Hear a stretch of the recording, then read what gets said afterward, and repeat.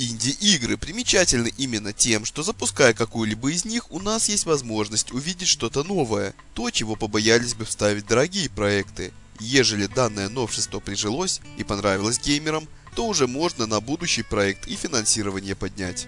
Однако инди-проекты имеют и свои недостатки. Первый это кот в мешке, то есть мы не знаем, что покупаем и стоит ли овчинка выделки.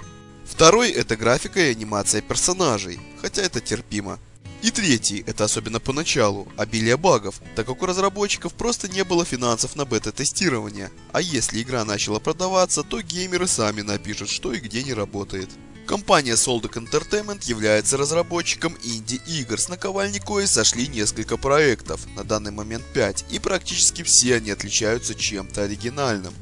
Кроме, наверное, Kivis Underworld, в кое я поиграл где-то с полтора часа и понял, что зря потратил время хотя есть и те, кому она понравилась. Однако, как по моему мнению, об остальных играх следует знать, тем более, что они у нас как-то совсем не прижились, и вы вряд ли о них даже что-то слышали.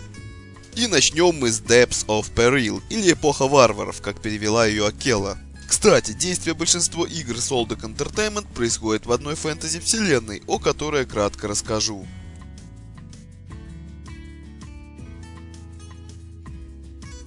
Действие игры происходит в мире Алерия, кое населяют привычные нам народы, эльфы, дворфы и тому подобное, а над всеми ними висят боги, светлые и темные. И соответственно между ними постоянно происходят стычки. То зомби с некромантом захватят поселок и превратят всех его жителей в нежить, то затем королевские войска уничтожат нежить, а жители опять отстроят и заселят деревню, пока не придут орки и не вырежут всех под корень. В общем так и живут. Точнее жили, пока однажды наги не вторглись в королевство людей большими силами. И так началась первая большая война. Однако свет объединил все свои расы и наги были повержены. Через 600 лет уже темные эльфы пошли войной на свет, однако те опять дали отпор, а затем еще и захватили часть территории тьмы. После чего Совет Тьмы понял, что для того, чтобы захватить врагов и всех уничтожить, нужно и самим объединиться. И вот, забыв все свои старые разногласия, нежить, демоны, наги и тому подобное, поперли бить вражин. И когда победа была уже почти в кармане, светлые боги что-то там сотворили, и союзники вновь стали грызться между собой, тем самым временно оставив тех же людей в покое. Однако и без того ущерб был велик, у света осталось лишь несколько разрозненных поселений, коим и без объединенной армии тьмы грозила гибель. И в этот момент мы начинаем игру Эпоха Варваров. Действие игры происходит в варварской деревушке Йорвик, кое осаждают вражины, однако из-за отсутствия лидеров они не хотят идти на приступ. Главный герой игры претендент на пост Ярла, коих таких как он еще несколько. И наша цель – заслужить доверие населения, укрепляя деревню и выполняя задания, попутно сместив других претендентов, стать единоличным правителем, ну и конечно же порубить всех вражин в капусту.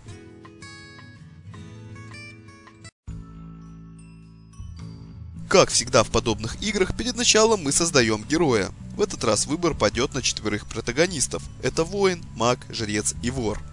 Каждый из них обладает своим древом навыков и набором умений. В общем, все как всегда. Однако есть небольшое отличие. Если в том же Диабло у всех героев вне зависимости от класса была мана, то тут мана есть только у волшебника. У остальных же магическая сила заменена на нечто другое. Вроде у жреца это вера, а у воина адреналин. И если волшебник пополняет запасы силы, глотая литрами бутылки жидкостью, то воин восполняет свою полоску, нанося тумаки вражинам. Вот такое хоть и небольшое, но отличие. Далее мы настраиваем мир, в котором будем жить, выбираем сложность, интеллект варваров, соперников, силу монстров и отправляемся в путь. Первые впечатления ничего хорошего не приносят, поначалу игра воспринимается как плохой клон Диабло. Мы берем задание вроде убить 10 зомби, убиваем их, сдаем, берем еще что-то похожее и опять идем колотить монстров. К тому же постоянно мы лицезреем не слишком хорошую графику, топорность персонажей и некоторые недоделки опять же с NPC. И в основе своей, поиграв 30-40 минут, многие игру бросают, однако, как показала практика, зря. Дело в том, что только где-то спустя час понимаешь, что тут все намного веселее.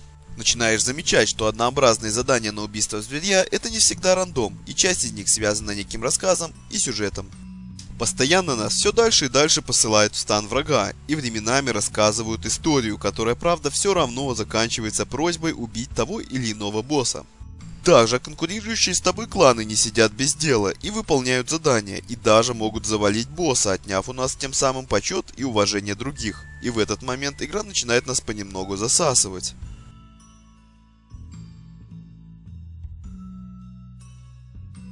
Эпоху варваров можно смело отнести к игре с открытым миром. Карта поделена на квадратные локации, соединенные с собой в ряде мест дорогой, чем-то напоминает пазл. Одной из таких локаций и является наша деревня, где и происходит борьба за власть. В поселке герой берет и сдает квесты, торгует и контактирует с другими кланами.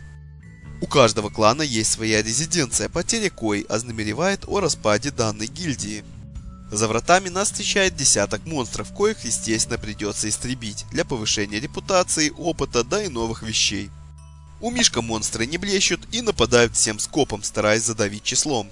Всех темных также можно поделить по народностям, и время от времени можно увидеть, как орки дерутся с нежитью. Правда, тут это не слишком важно, но дерутся скелеты с орками, что с того. Однако в последующих играх этот конфликт будет иметь значение, но сейчас не об этом. Иногда на карте будет появляться капитан какой-либо расы, о чем нам заблаговременно сообщат, и начнет, так сказать, собирать под свои знамена вражин.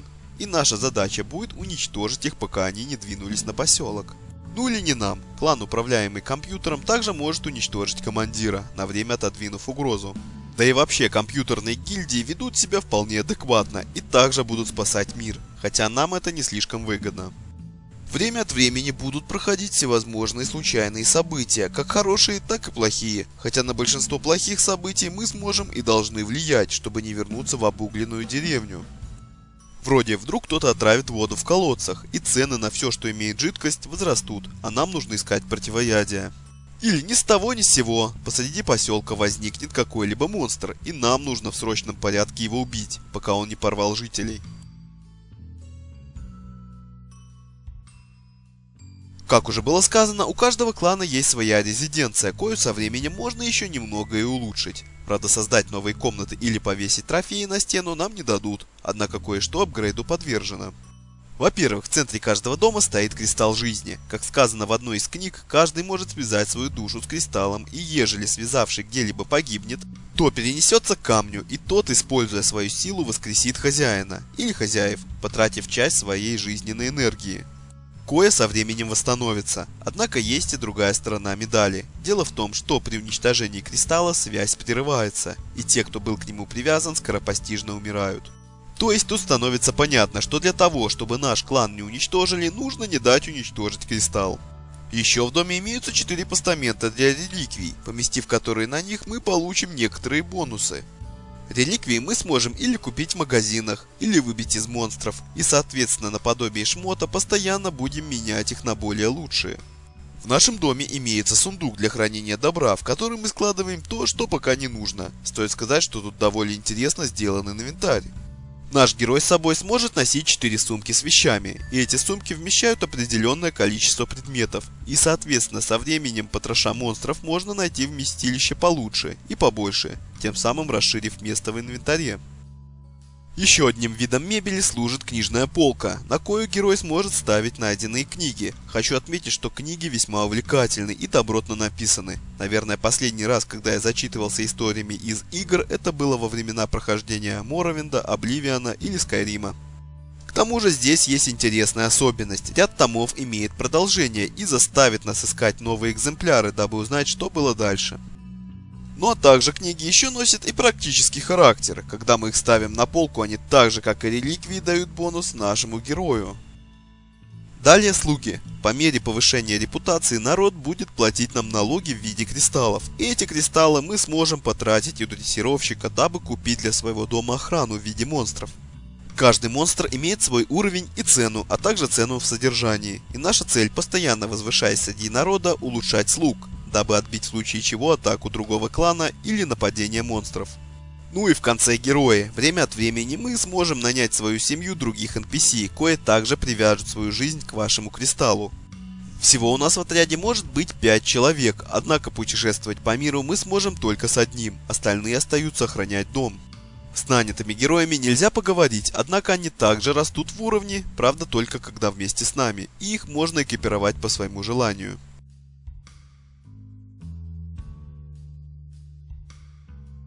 Тут всего пару слов. По ходу игры нам постоянно придется взаимодействовать с другими кланами, тем самым увеличивая или уменьшая репутацию среди их. То есть репа падает, когда мы ничего не делаем или требуем что-либо, и поднимается, когда мы дарим что-либо или налаживаем торговлю.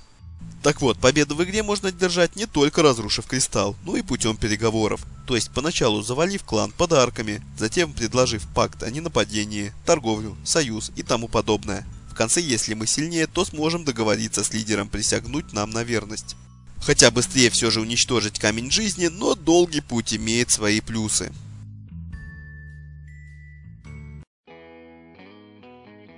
Несмотря на все вышесказанные плюсы, игра все же является середнячком, так как изобилует и кучей минусов в плане большой сюжетной дырки. Но не путать с историей мира, тут все хорошо кривенькой даже для инди-проектов графикой и некоторых недоработок в тех же слугах, героях и тому подобное.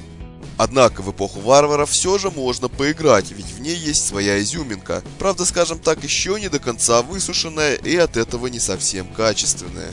Но это позволило к своим следующим творениям товарищам из Soldoc Entertainment подойти с большим профессионализмом и сделать кое-что более интересное. Но об этом в следующий раз. На этом все, всем удачи и подписывайтесь на канал.